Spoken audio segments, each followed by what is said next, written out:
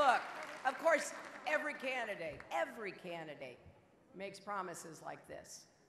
But every candidate owes it to you to be clear and direct about what our plans will cost and how we're going to make them work.